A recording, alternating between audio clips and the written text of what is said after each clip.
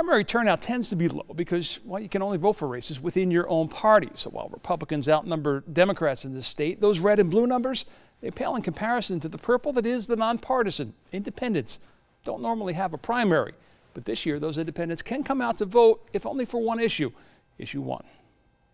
Issue 1 was created in a move to end the age old practice of gerrymandering, the drawing of congressional lines to benefit the political party in control at the time over the other. It gives the minority party a veto power on any map that's drawn.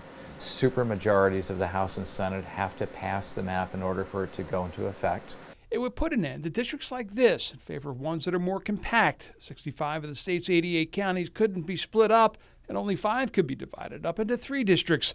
Cuyahoga Summit right now, for example, split into four. So why would Republicans agree to suddenly play by rules seen as more fair, while they face the possibility of a more independent, less favorable referendum going before voters in November? A more radical citizens commission kind of approach, which is what some supporters really would have liked to have seen. The legislature stepped in and got this on the ballot themselves. The bipartisan effort, though, seen as likely to drive those independents to the polls between the fact that you have independents interested in this issue, and I think you'll see some independents also pull a party ballot because we've got a lot of contested races. All of that combined means that we'll see a higher percentage of independents jumping in. John Kosich, News 5.